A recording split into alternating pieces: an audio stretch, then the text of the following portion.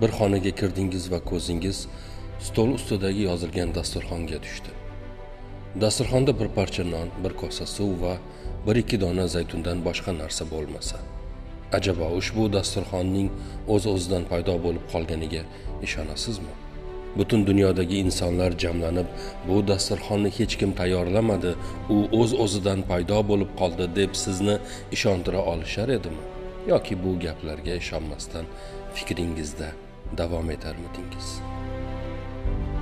bu dunyo shunday bir ulkan mehmonxona. Yer yuzi esa ulkan bir dasturxondir.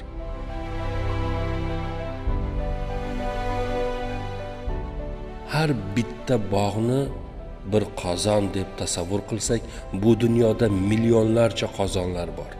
Bu bog'dagi har bitta daraxt bir kosa desak demak bu dunyoda milliard milliard kosalar mavjud.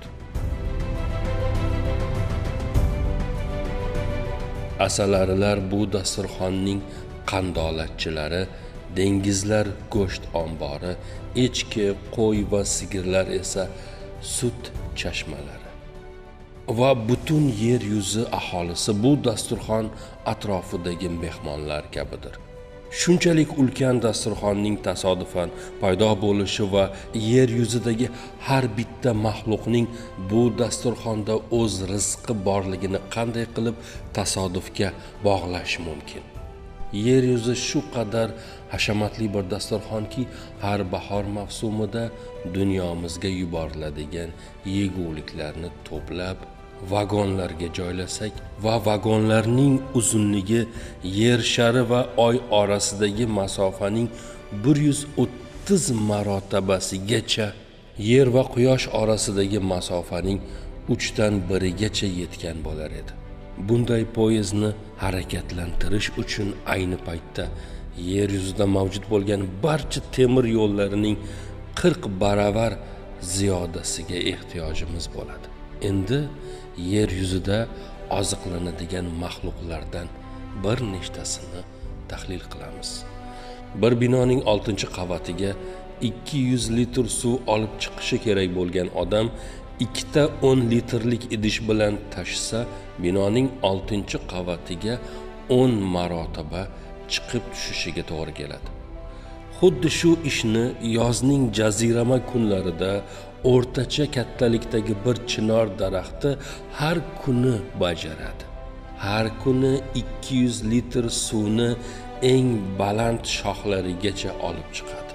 10 sotixlik o'rmonda esa 25-30 metr balandlikdagi taxminan 400 tub daraxt mavjud.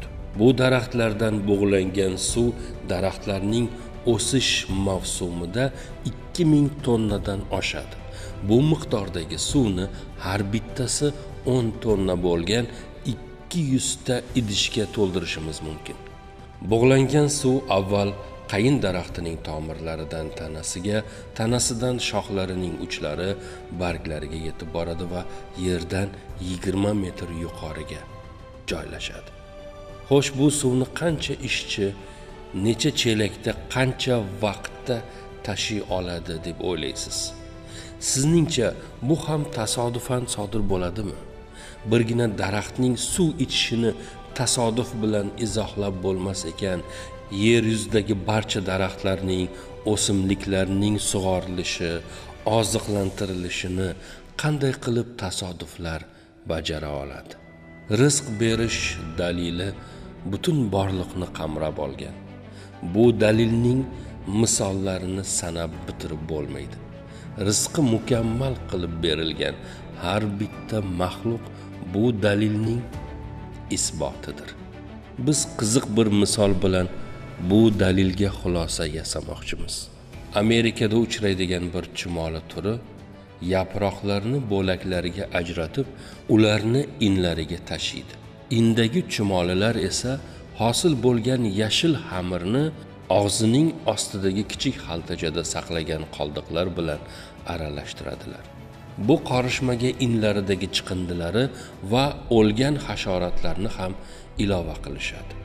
Oqibatda oziqlanish uchun xamir hosil bo'ladi. Vaqt o'tishi bilan ushbu xamir mog'orlay boshlaydi. Yangi jamoaga asos solmoqchi bo'lgan chumoli eng avvalo o'zi uchun qulay bo'lgan joy topadi va xaltachasidagi mog'orlagan aralashma qoldig'ini o'sha joyga chiqaradi. Qo'ygan tuxumlarining bir nechtasini yorib aralashtiradi. Qolgan tuxumlar yorib chiqib chumoli bolalari dunyoga kelganida ushbu tayyor ozuqani iste'mol qilishadi. Butun hayvonlarning rizqini bir tomonga qo'yib turaylik. Mana shu kichik chumolilarning oziqasi o'z vaqtida berib turilgani haqida tafakkur qilgan kishi allohga iymon keltirmaydimi?